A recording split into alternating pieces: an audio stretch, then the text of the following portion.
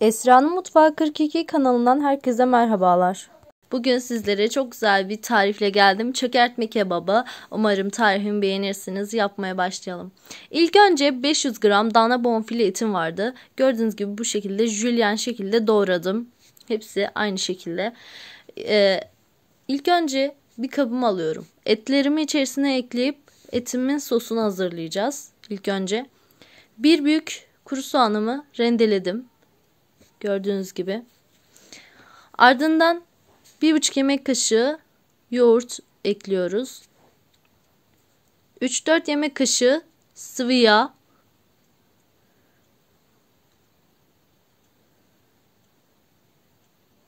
Ardından baharatlarımızı ekliyoruz.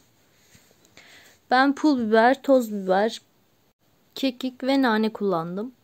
Yani isteğe göre istediğiniz baharatları ekleyebilirsiniz.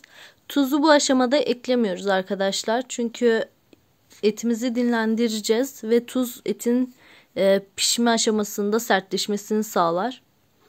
O yüzden tuzumuzu piştiği zaman ekleyeceğiz.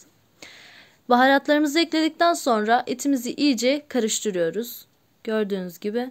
içerisinde soğan olduğu için acılığını salmaması için hemen streç filmle kapatın. Benim kullandığım gastronomun kapağı olduğu için kapattım. Dolapta 2 saat dinlendirdim.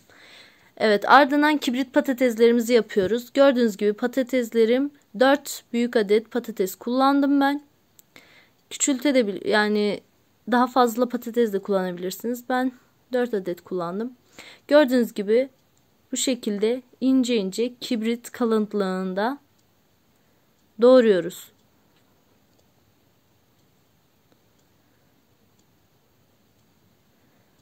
Evet gördüğünüz gibi ilk önce halka şeklinde ince bir şekilde kesiyoruz. Ardından kibrit kalınlığında ince şeritler halinde kesiyoruz. Evet gördüğünüz gibi. Tüm patateslerimizi aynı şekilde doğruyoruz.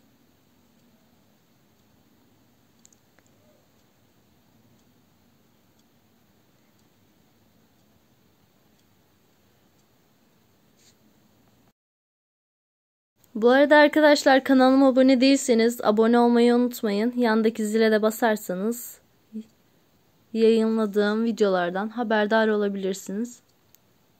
Evet gördüğünüz gibi patateslerimi hepsini doğradım. Gördüğünüz gibi hepsi kibrit kalınlığında. Bir tabağa alıyorum patateslerimi.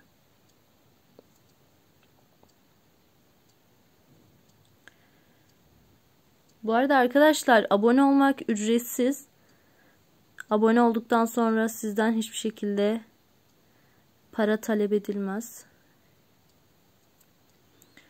Evet patateslerimizin hepsini tabağımıza aldık.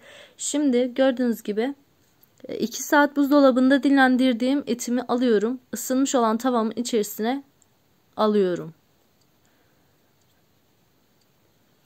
Etimi tavanın içerisine alıyorum. 1-2 dakika kadar hafif bir soteledikten sonra içerisine bir çay bardağı sıcak su ilave ediyoruz.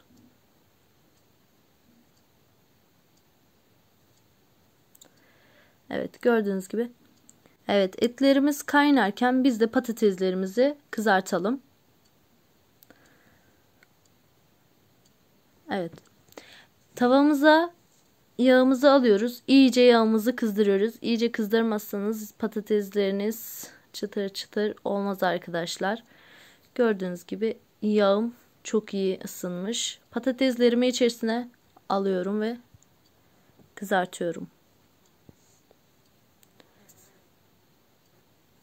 Bu arada arkadaşlar yağınız iyi ısınmamış olursa patatesler de birbirine yapışıyor. Evet gördüğünüz gibi patateslerim kızardı. Sunum tabağım bu. Taba sunum tabağımın içerisine alıyorum patateslerimi.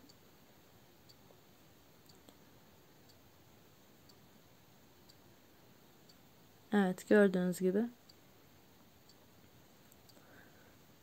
Patateslerim çok güzel kızardı gördüğünüz gibi. Şimdi kalan patateslerimi de yağımın içerisine alıyorum. Evet, kalan patateslerimizi de kızartıyoruz. Evet, bütün patateslerimi kızarttım. Gördüğünüz gibi etim de suyunu çekti. Şimdi içerisine bir tatlı kaşığı kadar tuzumu ekliyorum ve içerisinde olan yağıyla biraz 1-2 dakika kadar daha kavrulmasını sağlıyorum. Şimdi biz de yoğurtlu sosunu hazırlayalım. 2 adet e, ezilmiş sarımsağım ve bir çimdik kadar tuzum var. Yoğurdum içerisine alıyorum. Yoğurdum bir kase. İçerisine aldıktan sonra iyice karıştırıyorum. Burada süzme yoğurt da kullanabilirsiniz. Arkadaşlar. Evet gördüğünüz gibi iyice karıştırdım. Patateslerimi de hepsini bu şekilde servis tabağıma düzelttim. Şimdi üzerine sarımsaklı yoğurdumu gezdiriyorum. Yoğurdu tam ortaya gelecek şekilde döküyoruz. Kenarlarda patatesler görünecek.